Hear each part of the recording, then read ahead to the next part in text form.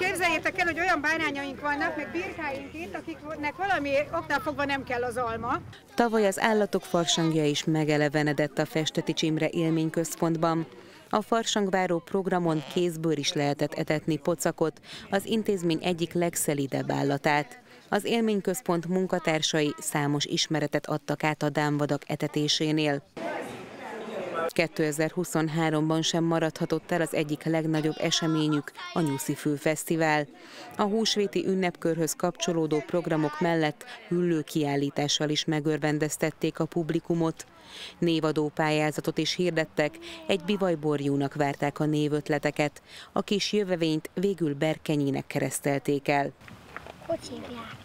A Csodaszarvas Fesztiválon a hazai nagyvadak mellett egzotikus állatokkal is lehetett ismerkedni. A Kelta ünnepkörhöz kapcsolódóan Halloween partit is tartottak az udvaron lévő sátorban.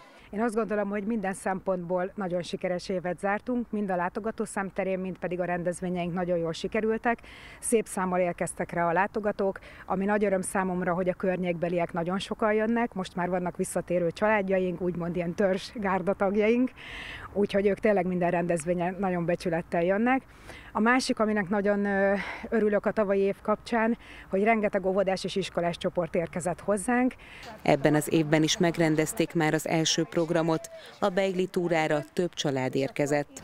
A cél az volt, hogy már az év elején megmozgassák az embereket, valamint hogy a téli szünet végére is kínáljanak kikapcsolódási lehetőséget. Ezúttal is az újszülött állatok vitték a prímet, de a kézbőletetésnek is töretlen a sikere. Az elmúlt évben újdonságként szervezték meg az erdei iskolás foglalkozást, melyre nagyon nagy volt az igény. Ezt 2024-ben is szeretnék megvalósítani. Ezt a foglalkozást szeretném egy kicsit kibővíteni egy másik korosztályra is, méghozzá általános iskola felső és gimnazista korosztályra. Nekik egy pályaorientációs tanácsadást, vagy inkább nem is tudom, milyen kis foglalkozást szeretnénk majd tartani, ami erdész leszek címmel, ami természetesen nem csak az erdészek munkáját mutatná be, hanem az egész erdő gazdálkodást, gazdálkodást, az, a, magát az erdészetek hogyan működnek, tehát egy kicsit ilyen, ilyen jellegű foglalkozásokban is gondolkodunk. A nagy rendezvényeket idén is megtartják az intézményben, de a kisebbekből sem lesz hiány.